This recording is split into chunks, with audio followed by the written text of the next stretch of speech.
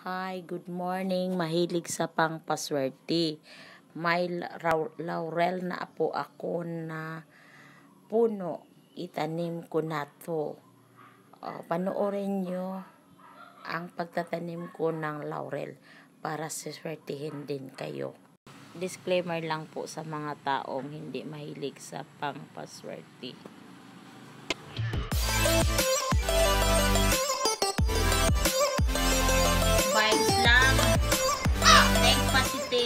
Power. God bless. Sige na. Ready na na? Like and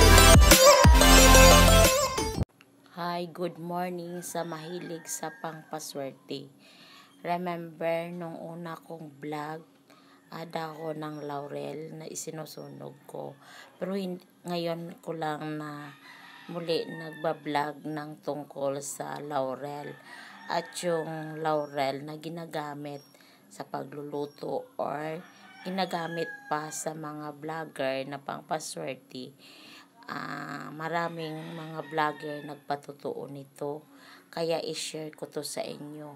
Meron akong puno ng laurel.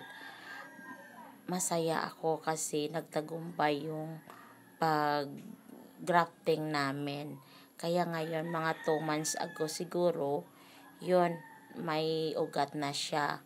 At alam nyo ba, yung may-ari nito, yung, uh, yung ama namin nang doon na sa Amerika, doon kasi sila na tumiti, may bahay sila doon sa Amerika.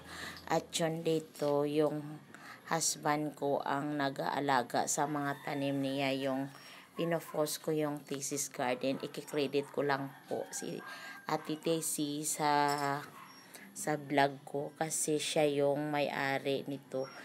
Nag-grafting lang ako sa pinakapuno nito. At alam nyo ba, maraming mga taong hindi pa alam na ang dahon ng laurel nagbibigay pala ng pampaswerte. Ito po yung malaking puno or mother plant dito ko ki, kinukuha yung ginag nagrafting kami. Kaya po nagtagumpay ang pagrafting namin.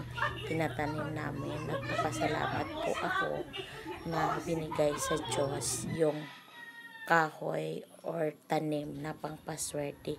Dito pala meron pala yung ama namin dito sa loob ng compound niya.